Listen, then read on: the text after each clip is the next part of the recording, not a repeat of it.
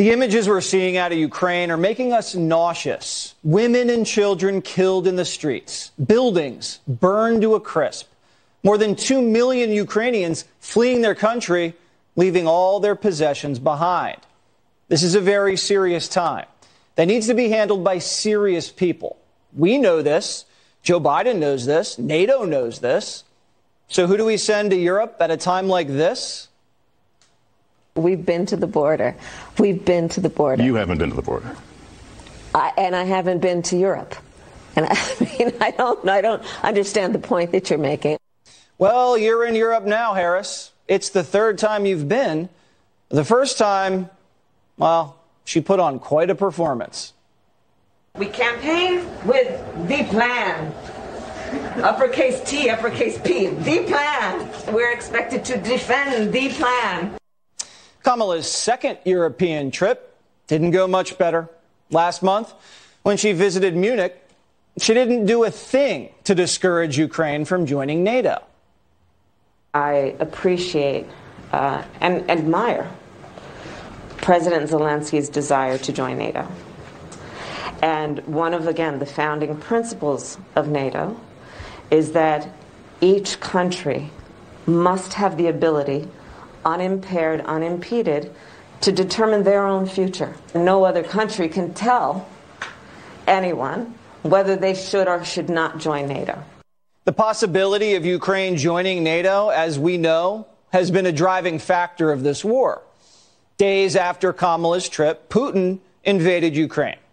Biden decided to send Kamala again, this time to Poland, and the VP had trouble remembering where she was.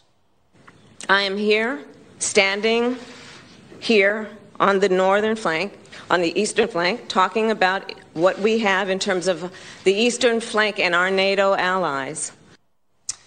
Then, when she was asked about the fighter jet fiasco between the United States and Poland, she couldn't give an answer. It's a dynamic situation and requires us to be nimble and to be swift. I mentioned being swift in terms of accountability and consequence. We also fully appreciate we must be swift in terms of providing assistance where we can be helpful. I wish she could be a little more swift. Kamala did not meet the moment. No swagger, no passion, not even a big announcement or a, a memorable verbal slap in Vlad's face.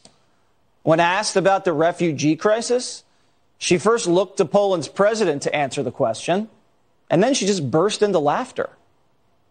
I wanted to know if you think and if you asked the United States to specifically accept more refugees. Okay. a friend in need is a friend indeed. okay, uh, I, I can first. You can't cackle while Russia wages war crimes. Snap out of it. And we're not the only ones saying this. This is a tweet from President Zelensky's former press secretary in response to Kamala's wacky laughter. Quote, it would be a tragedy if this woman won the presidency. Kamala definitely did some damage on this trip. Putin, as you guys know, is a former KGB guy. He sees a NATO alliance that didn't put its best foot forward today.